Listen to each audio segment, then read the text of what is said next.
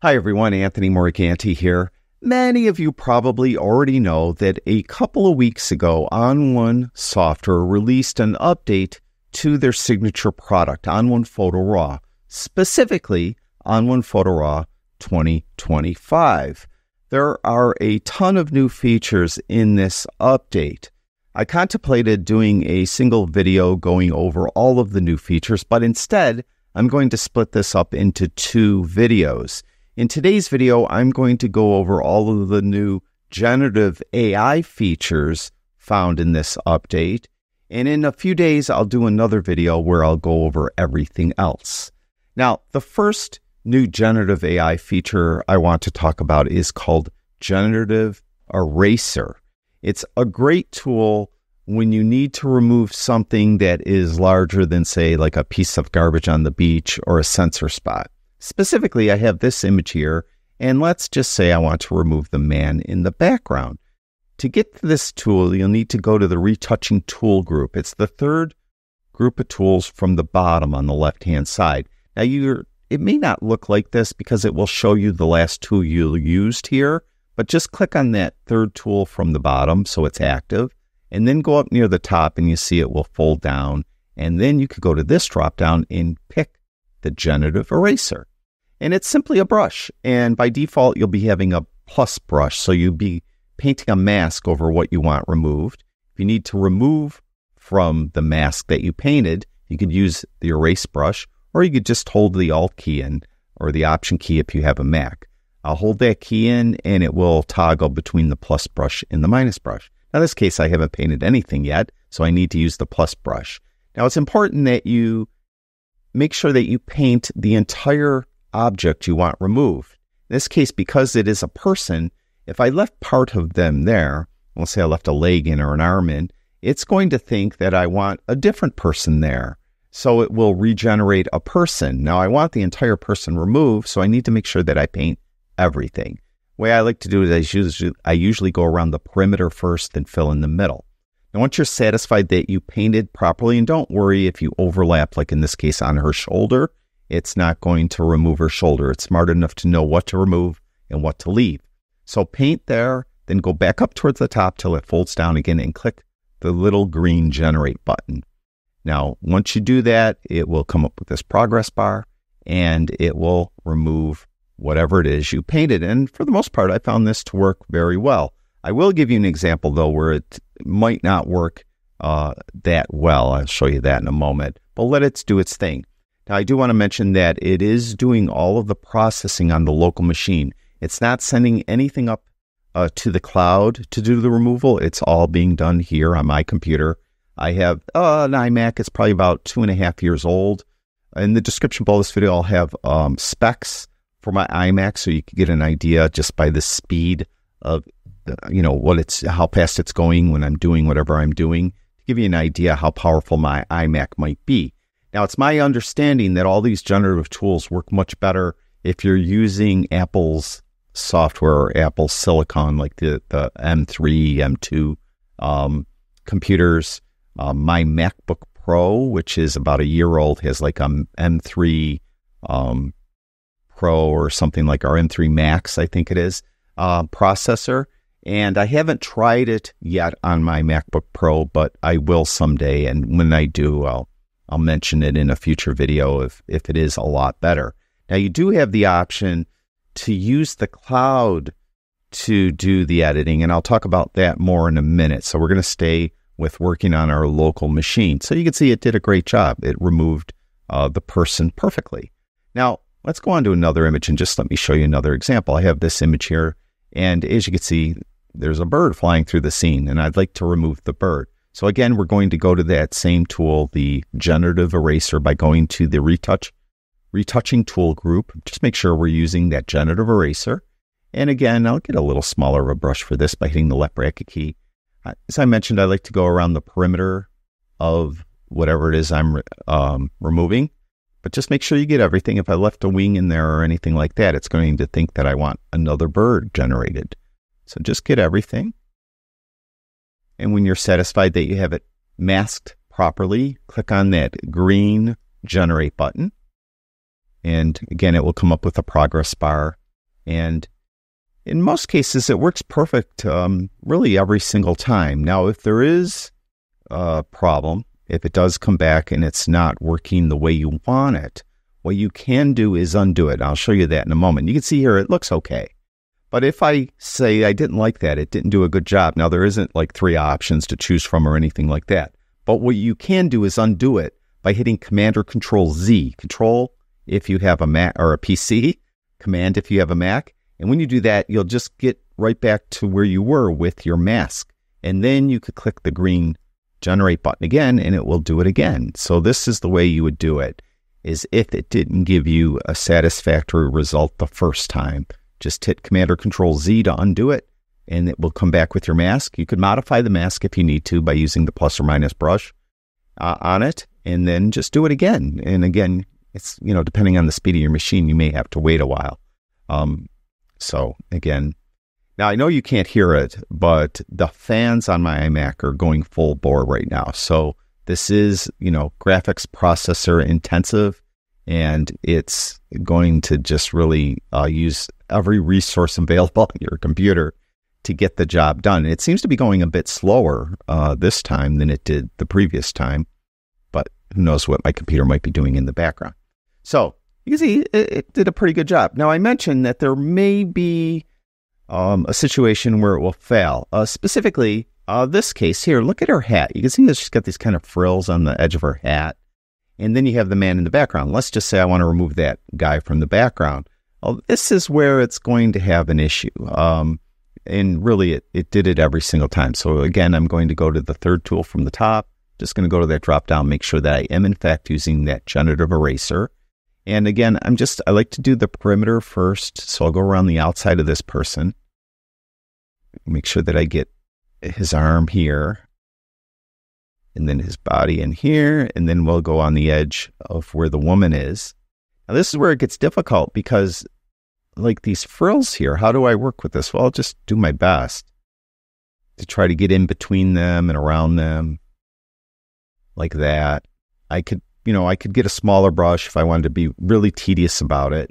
But in most, I messed around with this image a lot before I started the video, and I, I really never got a, a satisfactory result. No matter what size brush I used, how refined I tried to get, it just really couldn't handle something like this. So it does have its limitations. Now, I do want to mention this is the first iteration of the tool. Um, you know, even when the generative AI tools came out in Photoshop, you know, the first crack at them, they didn't work maybe as well as you would ex- or hope they would have worked. And they got better as they, you know, updated Photoshop. Same thing here. I, I anticipate, uh, you know, the people over at On1 are very uh, attuned to improving things, even existing things. So I'm sure this will improve. So there's the mask I drew on the man. I'm going to go up here and click that green generate button and let it do its thing. And hopefully, maybe it'll work well, but I don't think so because, as I mentioned, I didn't really get a satisfactory result uh, doing this.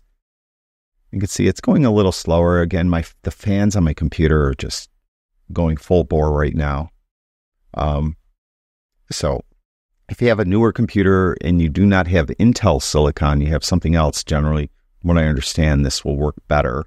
And I did mention that you do have the option to use the cloud to do this.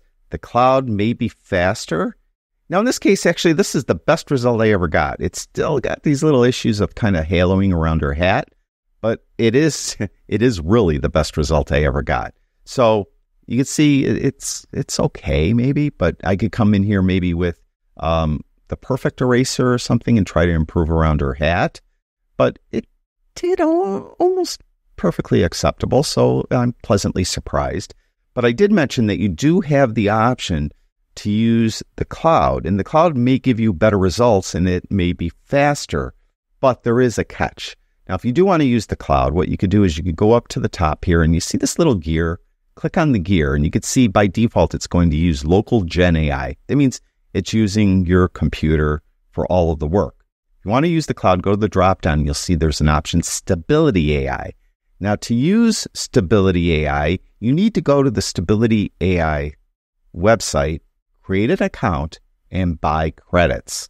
So it's not free. And every time you use it, you're going to use some of your credits. I've not done it, so I don't know how much it is, and I don't know how much it is like per use.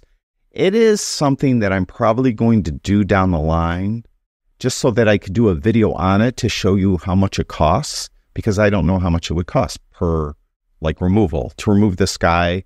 Uh, maybe it cost a few cents or maybe it cost a dollar. I have no clue. I haven't even gone to the Stability AI website yet, but I will do that in the near future. Uh, you could count on that. But there is that option there. If you have experience with the Stability AI website and you want to tell us how much it cost and the credits and so on, you know, let us know in the comments below. Now, I am going to undo this because I don't want to save that result. Matter of fact, I'm just going to hit Command Z a couple times or a few times to undo everything. So we'll just undo that. So that is the new uh, generative eraser. On the on the whole, it works pretty good. Now, the next uh, new feature is this generative expand feature. I've had mixed results with this. Sometimes it works perfectly, but then sometimes it fails miserably. This specific image, it worked perfectly. Like I, I did it, I did it like six times, and it worked perfectly two times. It worked okay two times, and it failed miserably two times. So I'm not sure what we're going to get here. So let's just say that I want to make the canvas bigger. So we're going to go to the crop tool. And then what we need to do is go over here where it says canvas extension, and we're going to change that from off to either local gen AI or stability AI. So I'm going to go to local gen AI. Now I want to have this lower rule of thirds line directly on the horizon. So I need to expand it up and maybe to the left a little bit. So I'm going to uh, have the view smaller by hitting Command minus on my Mac. It's Control minus on a PC. We're going to grab this left top corner handle and just pull up. So I'm making the canvas bigger and we're going to put that as I mentioned, this rule of thirds line right on the horizon. And we have these blank pixels now, and this is where the local Gen AI will come in. It's going to fill in those blank pixels.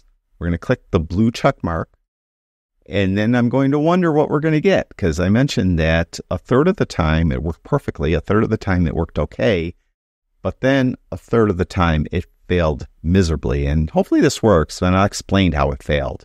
Um, but let it do its thing. And this is a failed miserably. Uh, see, whatever it did up here at the top, it has like jet skis in there or something. I don't know. Just failed miserably. And you can see over here, um, we have kind of this line. So it failed miserably. So you want to undo it, hit Command or Control Z to undo it. And why don't we just try it again for fun? All right. So we'll go to the crop tool and we'll go to local gen AI, what Command minus. Go to the upper left handle and go up to the horizon like that. And then click the check mark. And let's just hope this works perfectly. But I don't know. When it failed for me, uh, the two times before, it failed twice in a row. And then I actually had to close the uh, photo down, work on another photo. Then I tried it again, then it worked. So I got a feeling that unless I close this down and work on another photo for a while and then come back to it, it's probably going to fail again but we'll see. You never know. That's the thing with these new generative features is it gives you a different result every time, no matter what generative feature you use in pretty much any app you use. So it's not unique to um, ON1 photo raw. Now here's one that is is to me this is okay. This isn't maybe perfect, but it's okay.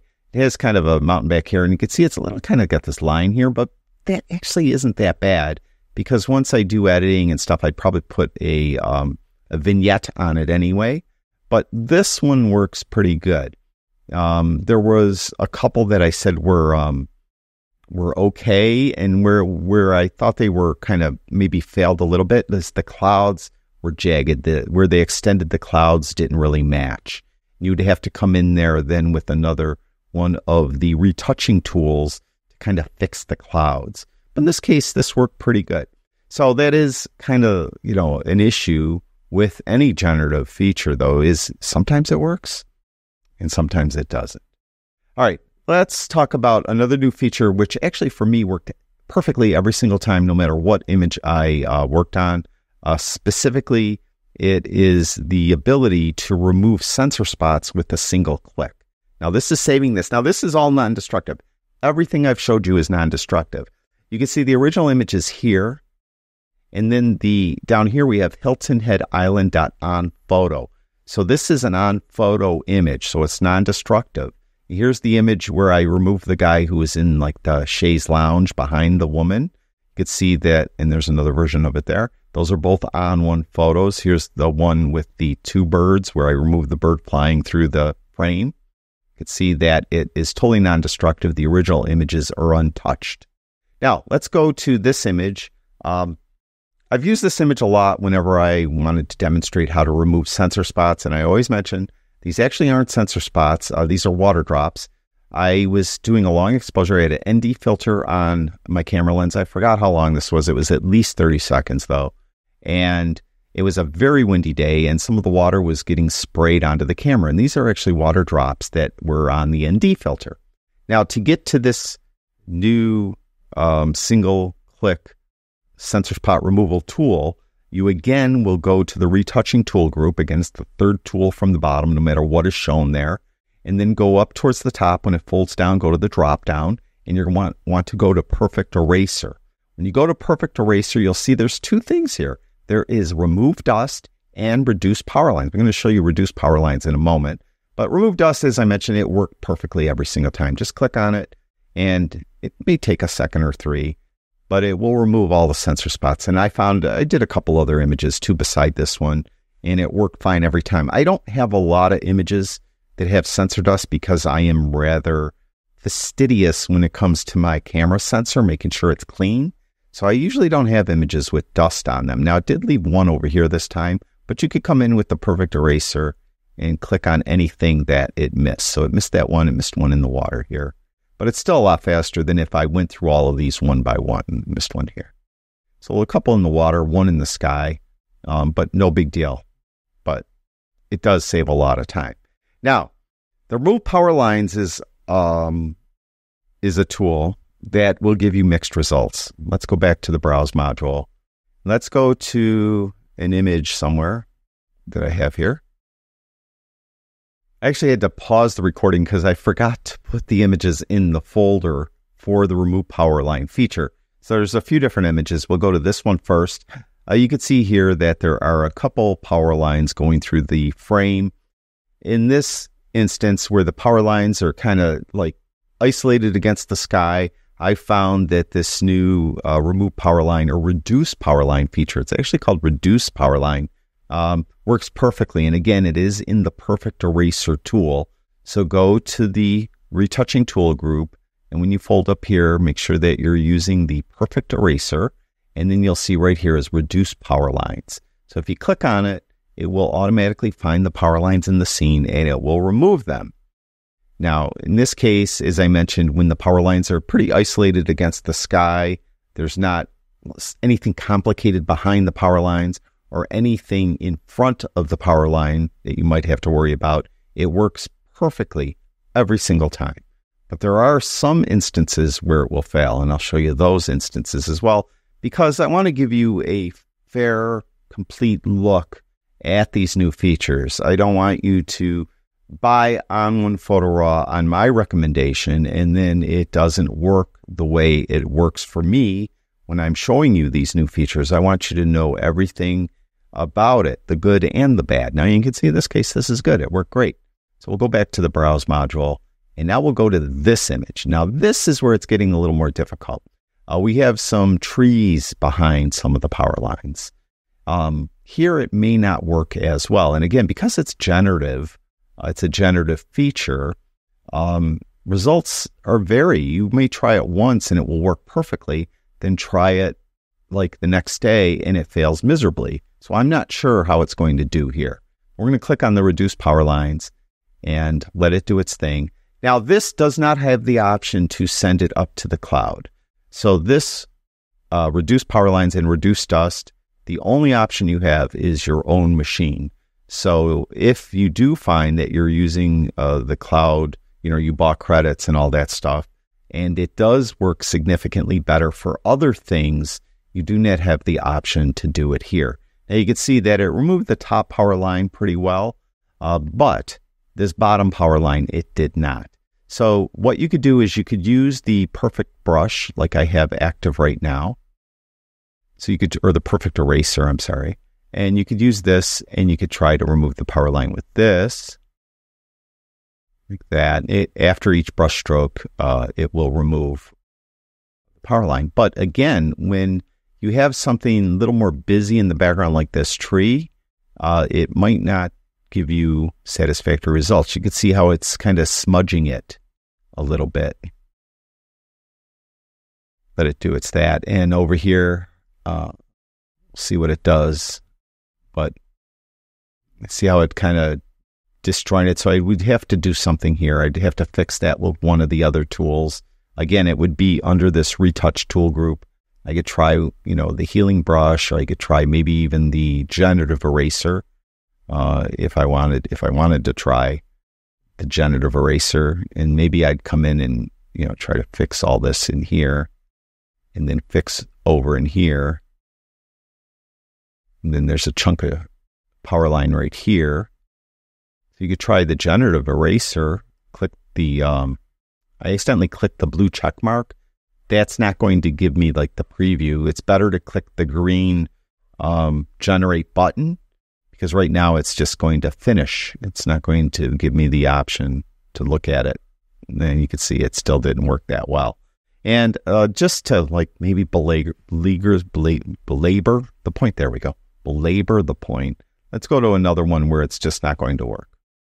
All right. Now, again, it's non destructive. So even though I accidentally saved that without, I didn't push that green generate button first, accidentally click the blue check mark, it's a non photo image. So it's down here, still non destructive. The original image has the power lines in it. I don't have to worry about that. Now let's go to this one. Uh, this, you can see, there's it's really busy behind these power lines, right?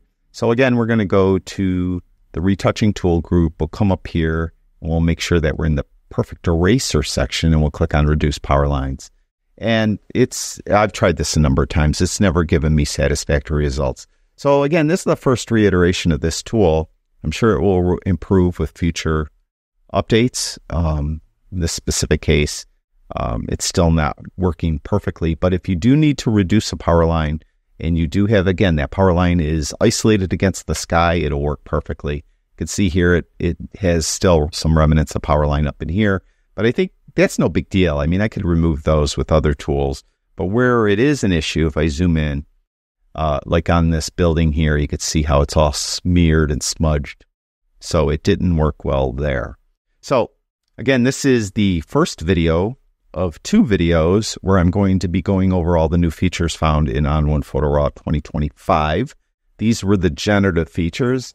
And again, I just going to mention that this is the first release of the generative features. I expect them to improve um, down the line, um, but they are what they are right now. And hopefully, I gave you an honest um, look at them uh, so you can get an idea what they can and cannot do. Thank you, everyone that watches my videos. I really do appreciate it. Talk to you guys soon.